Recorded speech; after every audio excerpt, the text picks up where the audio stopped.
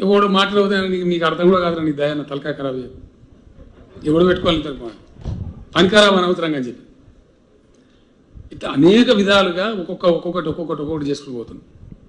ఇలా మీరు పేపర్లో చూసారు టీవీలో చూసారు హైదరాబాద్లో ఒక నాలుగు సూపర్ స్పెషాలిటీ హాస్పిటల్ తెస్తారు ఎంతసేపు గాంధీ ఉస్మానియా కాదు ఈ గత్తర మారి ఇదంతా ఈ కరోనా ఏమైంది మూతుకోబట్ట ముడుకోబట్ట ఏం పంచాయతీ? పెళ్ళిగా? నవ్వుతారు పెళ్ళికి పోతే వాడు పెళ్ళి పిల్లగాడు సార్ మాస్క్ తీ. ఎందుకు బయట? నువ్వు మళ్ళీ దొరుకుతావు సార్ ఫోటో కావాలి. నేను నీకు దొరుకుతున్నాడు మరి మాస్క్ తీస్తే కరోనాకు దొరుకుతా కదా వాడి ముందే వీడి ముందే నాకు కూడా వచ్చింది కరోనా. అంటే ఎక్కడ ఇక దీనిలో అడ్డం చెప్పేటోడు పొడుగు చెప్పేటోడు. దీని కథలు పుట్టించినోడు. ఈ ఎట్లా గోల్ మాల్ గోవిందం అన్నట్టు అంత ఆగం ఆగం బట్టాలు పరిచయం చేయాలి. ఓ సిస్టమ్ అనేది ఉండాలి కదా? ఈ అందులో అంతా దొప్పుగా తినాలి కథ కార్ఖాన. గత్తర గత్తర గాయి గాయి లేపాలి. పని చేసేదానికి ఒక పద్ధతి లేదు. దయచేసి నా ప్రార్థన మీ అందరితో నేను చేతులు తోడించి దండం పెట్టి చెప్తా ఉన్నా. నా నా జీవితంలో నా చేతులు నేను కొట్టలే నేను. మా ఊళ్ళో తెలుసు. అవసరం ఏర్పడలేదు. మంచి మాటతో ప్రేమతోనే జయించుకుంటూ పోయినాము ప్రేమతోనే చెప్పుకుంటూ పోయినాము కొంత ప్రగతి సాధించినాం. ప్రజాప్రతినిధులు సర్పంచులు మున్సిపల్ చైర్మన్లు మీ మీద చాలా పెద్ద బాధ్యత ఉంది దయచేసి. చాలా పెద్దది. మేము ఏం చేసినా మీరు లేకుంటే ప్రగతి రాదు. ఇంపాసిబుల్ మండలాధ్యక్షులు జడ్పీటీసీలు జిల్లా పరిషత్ చైర్మన్లు మీరు నేల విడిచి సామ చేయదు దయచేసి. ఒక గుణాత్మకమైన మార్పు మీరు కళ్ళారా చూస్తున్నారు. ఎన్నడూ కూడా ఇంత టంచనగా గ్రామ పంచాయతీలకు డబ్బు రాకపోతుండే. నేను చెప్పిన చీఫ్ సెక్రటరీ గారికి అయ్యా మీకు పని డబ్బున పైసలు తక్కువ పడితే ఎమ్మెల్యేలకు బంధు పెట్టి జీతం మంత్రులకు బంధు పెట్టు.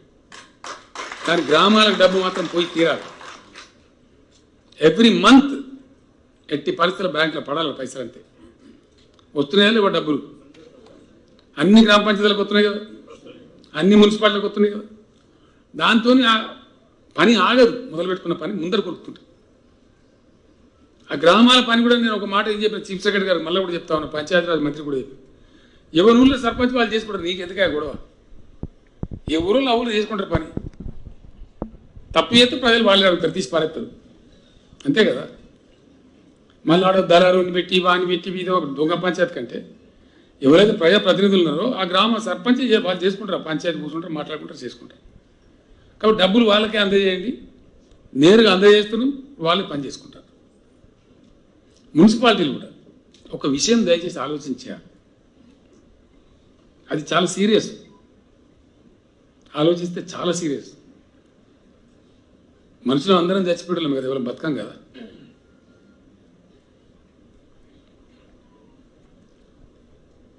జాతస్య మరణం ధ్రువం. పుట్టినవాడు గిటక తప్పదు. మనది ఏం దేశం మనది? ఒక విశ్వాసం ఒక మంచి పద్ధతిలో బతికేటువంటి సమాజం. చచ్చిపోయిన వాళ్ళని గౌరవప్రదంగా సాగనంపుతాం. అంతే కదా? మనిషి చచ్చిపోతే జాగ ఉన్నాడో మన జాగలో పోయి కాలు మరి జాగ లేనివాడు పెట్టుకోవాలి మన గతి ఏంది? ఏం చేయాలా బాధ? ఇటు మనిషి సచ్చిన దుఃఖానికి ఏడవన్నా లేకపోతే జాగలేక కాల పెట్టుకోలేక ఏడవన్నా దేనికోసం ఏడవాలా? అందుకే ప్రతి గ్రామంలో వైకుంఠధామం కట్టమని చెప్పింది అది అందరిది. ఎవరు ఊరు ఎవరు చచ్చిపోయినా ఏ కులం లేదు మతం లేదు దానికి. ఎవరు చనిపోయినా సరే అక్కడ జాగ దొరుకుతుంది పోయి అంత్యక్రియలు చేసుకోవచ్చు అక్కడ మంచిగా మహిళలకు స్నానాలు పురుషులకు స్నానాలు చేసుకొని ఎక్కడో అక్కడ వెళ్ళిపోవచ్చు. అది ఏం గది శాత కాదని నాకు అర్థం కాదు మనకు.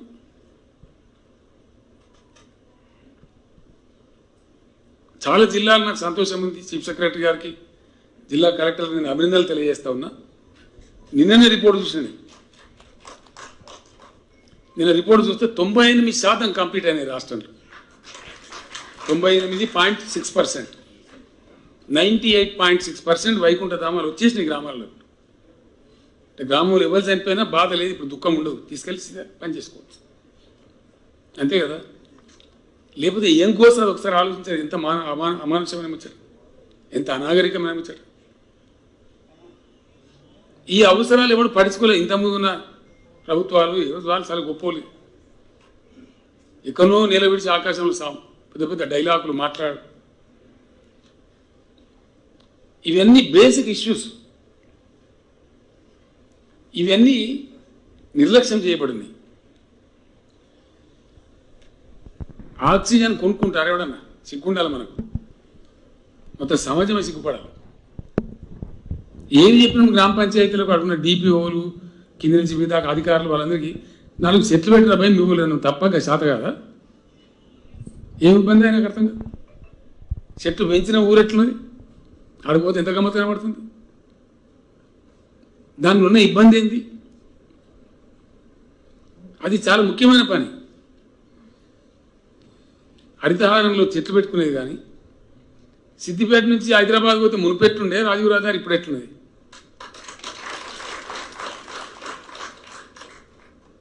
ఎందుకు తయారైంది? ఇట్లా ఎంబడ పడితే అయింది. అనుకున్నాక సంకల్పం కరెక్ట్ చేస్తే కాదా? మీరు మంచిగా పనిచేస్తారు సిద్దిపేట చాలా బాగుంది. సిద్దిపేట పోతే నాకు ఇప్పుడు సంతోషం అంటే రెండు వైపుల బ్రహ్మాండమైన చెట్లు మీడియంల చెట్లు.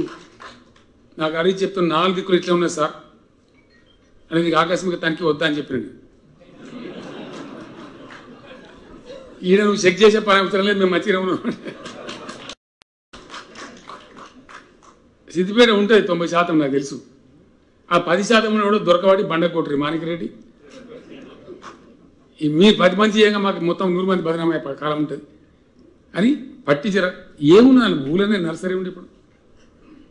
నా ఎంబడి అన్నాడు మస్తు మనం మనం అంతా ఉన్నాం. సిద్దిపేటకు హరితహారం అని మనం అప్పుడు ఇప్పుడు హరితం లేదు ఆ- ఎవరు తెలియదు. గవర్నమెంట్ నర్సరీ కావడం మొక్క దొరకదు అన్నం భూపాల్ రెడ్డి సభని ఇప్పుడు నా దగ్గర నేను సెక్రటరీ పనిచేస్తాడు ఆయన సీఎం ఆఫీస్లో. ఆయన రామంపేట మన మెదక్ జిల్లా పాత మెదక్ జిల్లా. ఆయన హుడాలో పనిచేసేప్పుడు నా పరిచయం కాబట్టి ఆయన రిక్వెస్ట్ చేస్తే సిద్ధి వందల చెట్టు పంపించారు. నర్సరీ కావాలంటే దొరకదు ఎమ్మెల్యే అడితే కూడా దొరకదు. అంత దుస్థితి. ఇవాళ తెలంగాణలో నా తెలంగాణలో ప్రతి గ్రామంలో పచ్చ నర్సరీ. బాగానే ఉంది ఇది? ఉండన్నా యాడ నర్సరీ లేకపోతే ఆడ దంచాలి. మండలాధ్యక్షులు జిల్లా పరిషత్ చైర్మన్లు దయచేసి నేను ప్రార్థిస్తున్నాను మా వేదిక మీద ఎమ్మెల్యేలు ఎవరి నియోజకవర్గంలో వాళ్ళు ఎవరి ఊర్లో వాళ్ళు అనుకుంటే కాదా? ఇంతకుముందు నర్సరీ అంటే అది యాడుంటుందో తెలియదు ఇంగ్లీష్ ఉంటుంది నర్సరీ. ఇవాళ ప్రతి ఊరికి వచ్చింది. ఎట్లా వచ్చింది? ముఖ్యమంత్రి చెట్టు పెట్టమంటాడే ముఖ్యమంత్రి చెట్టు పెట్టకపోతే చెట్టు వీకమని చెప్పానా? అని ముఖ్యమంత్రి అంటే ఇది మాట్లాడతాడు. మరి ఎందుకు గడివి ముఖ్యమంత్రి? ఈ బేసిక్ పనులు ఈ ప్రజల పనులు ఇంతకుముందు వాళ్ళు పట్టించుకోలేదు కాబట్టి చెట్లు కొట్టుడే కానీ చెట్లు పెట్టుడు లేదు కాబట్టి నలభై ఎనిమిది డిగ్రీలు పోతుంది టెంపరేచర్. ఆక్సిజన్ కొనుక్కునే దుస్థితి వస్తూ ఉంది. నేను మళ్ళొక్కసారి మా స్థానిక సంస్థల ప్రజాప్రతినిధులకు నేను చేతులు ఎత్తి దండం పెట్టి చెప్తాను రాష్ట్రం అందరికీ. నేను మాట్లాడే స్థితి మెసేజ్ అంతటి పోతుంది. ఆకస్మిక తనిఖీ వచ్చి ఓ అధికారిని ఏదో అరవాలి లేకపోతే ఒక సర్పంచ్ తీసేయాలి అది నా ఉద్దేశం కాదు. నో. నాకన్నా ఏం ఆనందం వస్తుంది? ఉన్న సర్పంచ్ గొప్ప పని చేయాలి గొప్పని పేరు తెచ్చుకోవాలని కోరుకుంటా కానీ ఆయన బదనాం బతి పెడితే ఏమవుతుంది? ఆ బదనాం బతి రాకుండా సర్పంచే చూసుకోవాలి. అక్కడ గ్రామ సెక్రటరీ చూసుకోవాలి. మండల పంచాయతీ అధికారి చూసుకోవాలి. ఏ జిల్లాకు ఆ జిల్లాకు ఉన్న అధికారి చూసుకోవాలి. అది కోరుతాం. ఈ కొంతమంది ఎంత చెప్పినా చేయకపోతే ఏం చేయాలి? యాక్షన్ తీసుకోవాలి. మరి ఏం చేయాలి?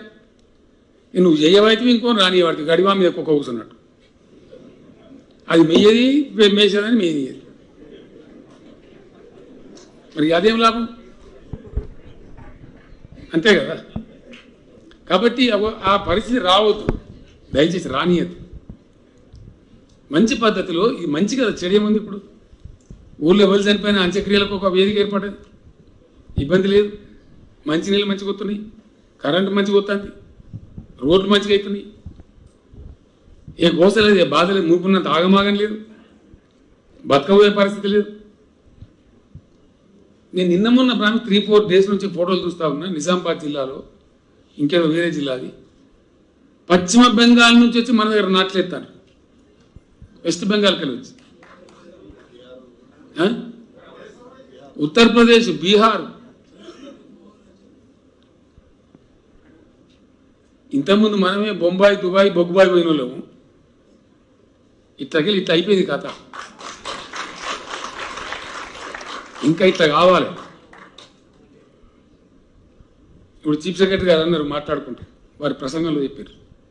ఇంత మంచి కార్యాలయాలు మా కోసం మీరు ఏర్పాటు చేసినారు రాష్ట్ర వ్యాప్తంగా. మీరు అనుకున్న పని అంతా ఇక్కడికి చేసి చూపిస్తాం సార్ అన్నారు.